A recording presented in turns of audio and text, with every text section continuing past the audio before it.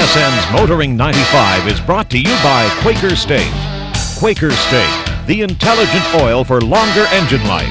And Midas. For brake, exhaust, suspension, and steering service, trust your car to Midas.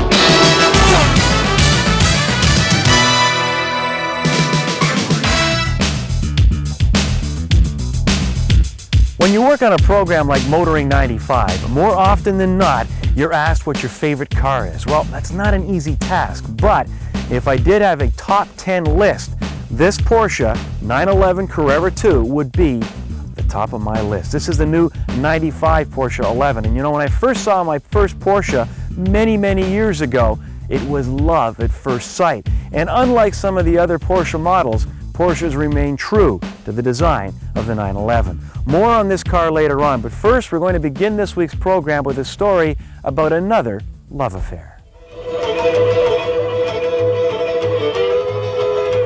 Spring Hill, Tennessee, home of the Saturn Car Company, rolled out the red carpet to give Saturn owners an inside look at the Saturn plant and the opportunity to celebrate being an owner.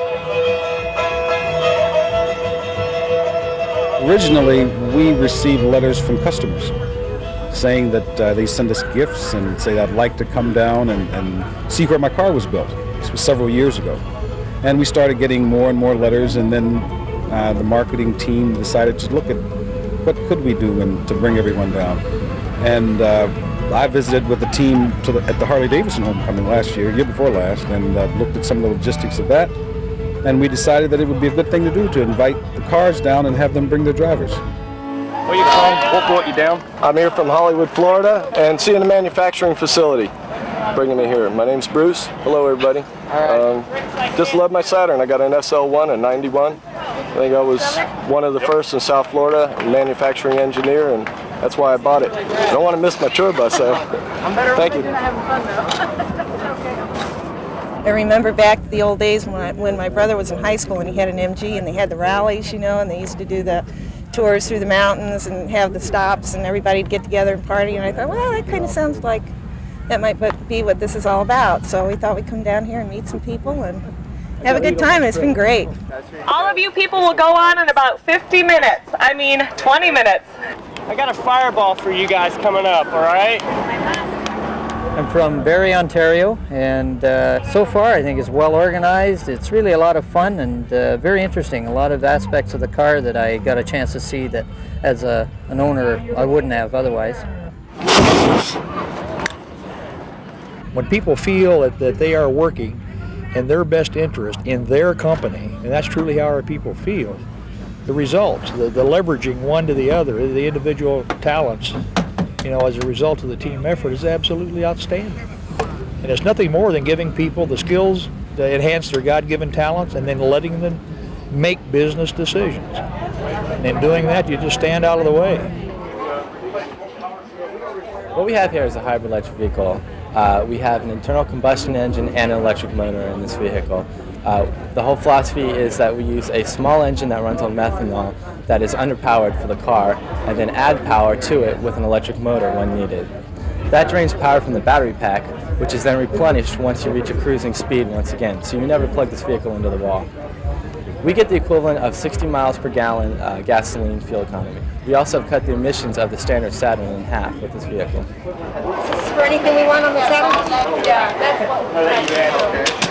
the biggest change for new 1995 is the dual airbags. The whole instrument panel and console have been changed. This dual airbag system combined with a three-point automatic, with a manual safety belt instead of an automatic safety belt is a big improvement over the car. And we also have the energy absorbing console and instrument panel to help your knees in an impact situation. Saturn's very strong in Canada right now. Last month's sales we exceeded a year ago by 39 percent uh, which is a great, great month for us, and we're very happy with that. We've sold almost 9,000 cars in Canada for the model year to date, and uh, that's exceeding our expectations. Our sales for the year are up about 17%. Resale is very important. Residuals are very important. We have not gone to the fleet market for extra volume like a lot of other manufacturers do, And if Saturn continues to keep its strength in sales, it will continue to hold that high resale value that it has in Canada, just like it has here in the United States. Driving down the highway singing honeymoon and lovers kiss and drive a Saturn tonight. You have to remember that Canada got Saturn a year after it started in the United States, so we're, we're playing catch up a little bit. But our, our retailers have the philosophy, have the understanding that the, the customer needs and, and wants to exceed those needs at all at all costs. So I, I would say to you that uh, I think in a matter of time we'll catch the United States and we'll have the same religion, if you want to call it, that uh, you see prevalent here today. Beep, beep.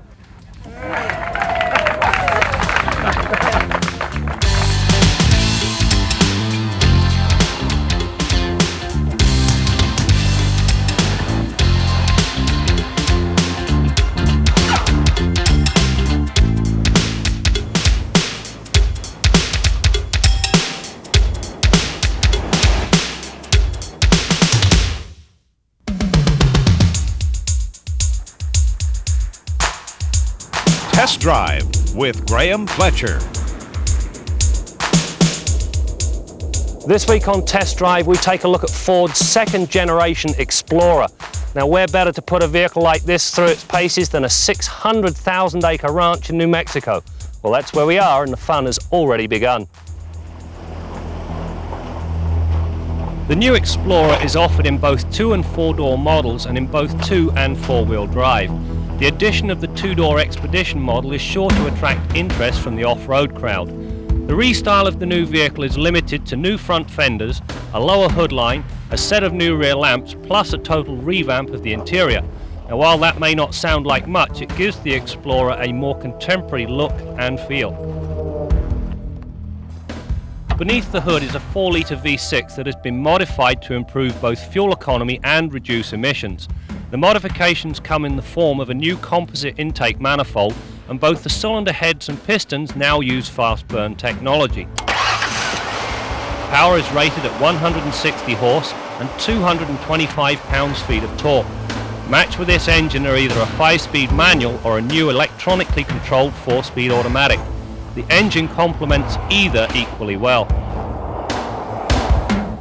Perhaps the single biggest improvement on this Explorer is found right here at the front end. Gone are those Mickey Mouse twin traction beam they used to use on the old 4x4s. In place of them, they've got a short, long arm, double wishbone design front suspension. Combine that with the new rack and pinion steering, and you have a vehicle that is infinitely more capable. On the highway, it tracks a lot truer, and off-road, you get a lot better feedback when you're in this sort of territory. Not only does this double wishbone suspension minimize camber change, it has allowed Ford to fit a set of Mammoth 255-70 all-terrain tires on the Expedition model. Combine these things with Ford's new Control-Trac four-wheel drive system and off-roading becomes a real treat. The Control-Trac system offers three different positions, two-wheel drive, automatic four-wheel drive and four-wheel drive low. At the heart of the system is an electronically controlled multi-plate clutch. In the automatic four-wheel drive mode, the majority of the engine's power is delivered to the rear wheels. If the system detects slippage, it automatically begins to supply more power to the front axle until it reaches a 50-50 split. Once traction is regained, the system reverses this procedure. The result is a highly drivable system that displays little of the usual driveline wind-up you get with other part-time systems. Select four-wheel drive low and the center clutch locks to give you maximum traction. During our off-road session, this aspect of the new transfer case worked to perfection. When it comes to safety, the Explorer again hits the mark. As well as standard dual airbags, adjustable upper seatbelt anchors and child-proof rear door locks, the Explorer features standard anti-lock brakes complete with discs at all four corners. During the brake tests I required just 121 feet to stop from 80k. Now given the loose surface, these stops are better than average. Inside, the angular approach of old has gone in favour of a new rounded theme. The instruments are analog and complete, the heater and air conditioning controls are of the rotary variety and sit in the right place, and that is below the radio. On the subject of the radio, Ford get extra points for returning at long last, I might add, to a proper knob for volume. Elsewhere, the power windows, locks and mirrors are located in the door, making them easy to access. The same applies to the steering wheel mounted cruise control functions. Up front, the sport bucket seating provides ample comfort. The same cannot be said of the rear seat. It is under padded and lacks both thigh and back support. On a long trip, it becomes decidedly uncomfortable. That said, it is a 60-40 split folding design which maximizes versatility as well as offering a nice generous wide flat floor pan. The bonus being that there is no requirement to remove the headrest to fold them down. The final touch comes with the addition of a power lock button located on the rear quarter.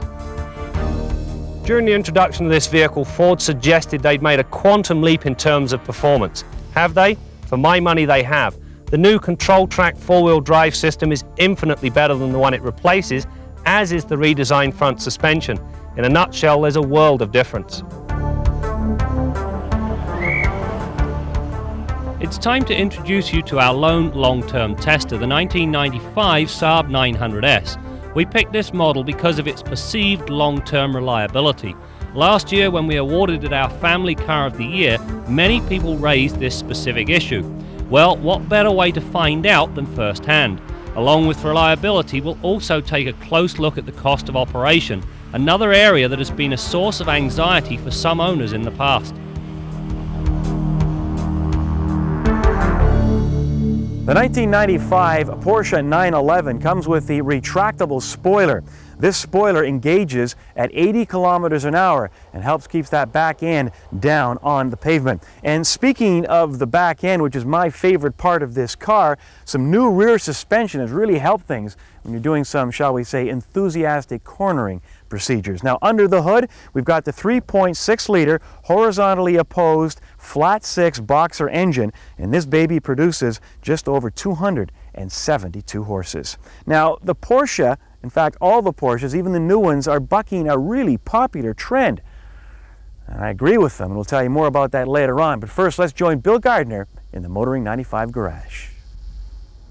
In the late 70s and early 80s, as manufacturers not only trimmed the overall size of their vehicles, they started substituting a lot of lighter weight materials in critical places like the engine. Now, cast iron used to be the material of choice for most engines, but aluminum slowly started to replace it in many engine castings, and that created a certain amount of service problems for us down the road, and that's what we want to talk about this week. We've got a couple of, of examples here on the bench. This is an intake manifold from a late 70s Chevrolet 350 V8. It's made of cast iron, and it was an extremely stout component that would never fail, but it was extremely heavy. It was all you could do to pick that thing up with two hands. And the time it took you to place it properly on the engine was all you could do to support that weight. Now, we've got an aluminum aftermarket replacement manifold that would also fit that 350 Chevrolet V8, and you can see I can pick it up with one hand and hold it there just about forever without fatigue. It's less than half the weight of that cast iron component. But we saved a lot of weight. We also created some problems. And the typical thing that happened with these engines, the problem that was created was corrosion. Now, I've got an intake manifold gasket here from another GM engine. This one happens to be an Oldsmobile uh, 5 liter or 307 V8 engine.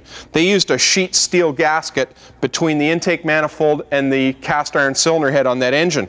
Now, in the, in the middle 80s, Oldsmobile switched the intake manifold uh, material to aluminum, and as a result, a lot of corrosion took place in those engines. And we got jobs in like this one that you see right here, a manifold gasket that had failed.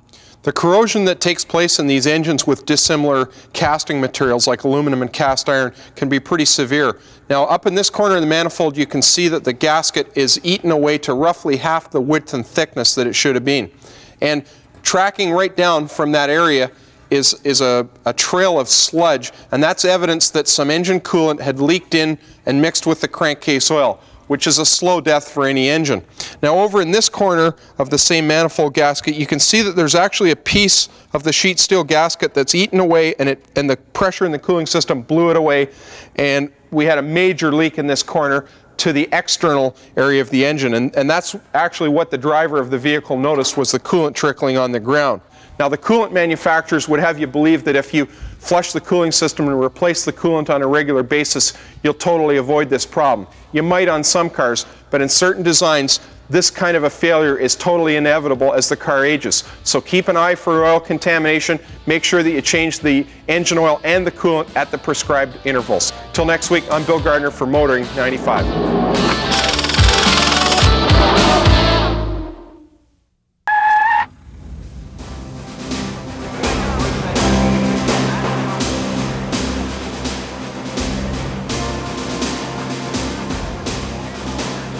The go-karts rolled into Barrie, Ontario this past summer, bringing all other traffic to a standstill. But nobody was complaining, as Barrie welcomed its first ever Go-Kart Grand Prix. Over 400 carts from across North America were there for what organizers hope will become an annual event.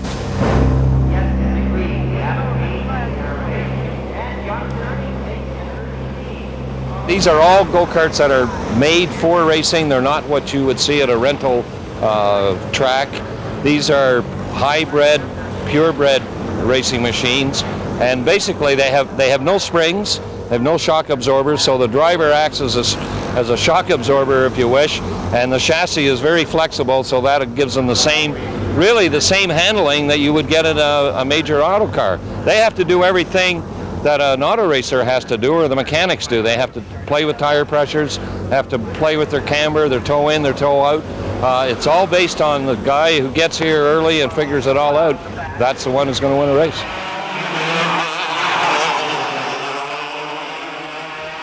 Some of our sponsors, I think, saw the magnitude or the potential magnitude for an event of this nature. As you know, auto races in the streets are nothing new, but go-kart racing at this magnitude is uh, relatively new. I know there's another major event in Elkhart, Indiana, and the other one is in Saskatoon, Saskatchewan. So I guess we're one of three street races in North America.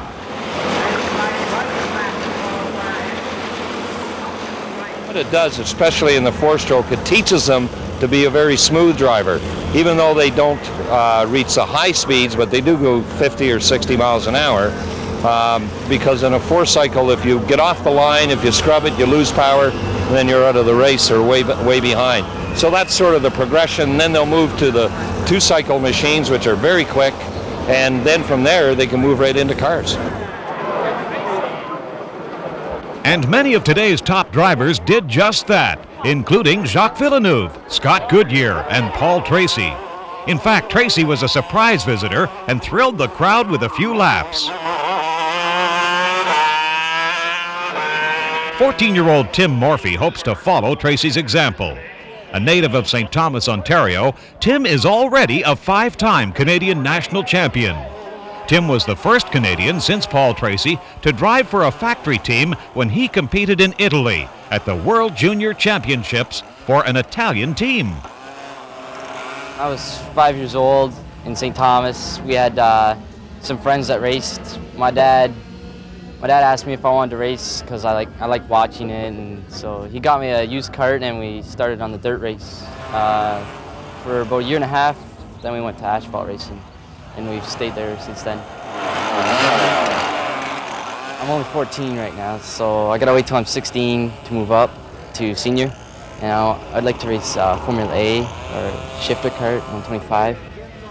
And I would like to go to the senior world championships too if I could. So that's probably a goal for after the junior world championships. A lot of carts out there and you just gotta keep your eyes open and watch what's going on. It's really, really fast track here, really fast, so it'll be a lot of fun.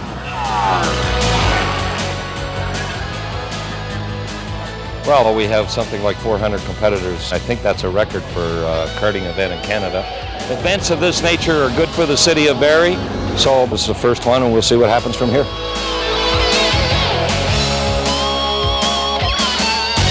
Our Midas tip of the week concerns starter motors. Most of today's vehicles start pretty willingly, but I'm sure at one time or another you've all experienced a situation that required extended cranking. Maybe your ignition system was wet, car could have been flooded, or maybe you just ran out of fuel and it was slow picking up the new fuel you put in the tank. In any case, underneath your engine, there's an electric motor like this that's only intended for part-time duty. 10 to 15 seconds of cranking is the most this motor should endure. If the car hasn't started in that length of time, you need to rest this motor pause for one or two minutes, allowing it to cool down. These things get real hot in a real hurry. If you do that and you're careful about those starting attempts, there's a good chance you may never have to replace this starter motor. They're pretty expensive. That's your Midas tip of the week. What's it going to take to get you into one of these fine, shiny, lovely new cars? Come on down to Kenzie's Corner. That's coming up next. Kenzie's Corner with Jim Kenzie. This might look like the biggest new car lot in the world. Well, it, it's almost that good. Every year, Canada's automotive journalists come to Shannonville Motorsport Park in southern Ontario, and the car manufacturers bring all their latest and greatest cars for us to evaluate. And you know, we find out some interesting things. During performance testing, for example, we found that one car with anti-lock brakes stopped 10 meters quicker from 100 kilometers an hour than the same car without ABS. Now, did you think that all ABS did for you was make it easier to control? Well, so did we, but it actually stopped quicker in this particular case. Another thing we found that was interesting was to compare cars side by side. We have here a group of family cars, all priced around the $20,000 mark. We got a chance to drive each of them on the same roads, on the same day, under the same conditions. And it was interesting the kind of differences we found. Some cars were large, spacious, comfortable, lots of interesting comfort and convenience features. Other cars were smaller, more nimble, had better handling, better fuel economy, but they all cost about the same amount of money. Now, what does this mean to you as a consumer? Well, two things. First of all, when you go shopping for a car, you have to know exactly what it is you need and what you want. Don't get confused by other issues that may arise during your buying process. Secondly, when you're comparing cars, try to do it on an apples to apples basis as much as you can. Drive the cars at the same time of day over the same kind of roads and make your comparison tests in as short a period of time as you can so you can remember one thing to the next. Now, what was my favorite car in this? Well, I think you better wait for the Motoring 95 Car of the Year show coming up soon. I'm Jim Kenzie.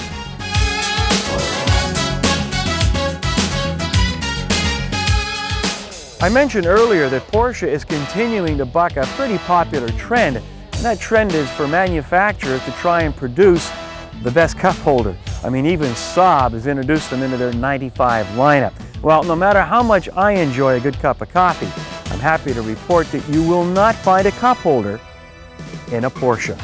I mean, if you're going to enjoy this Speed Demon to the fullest, you gotta have both hands on the wheel all the time. In fact, there's only one real problem in driving a Porsche.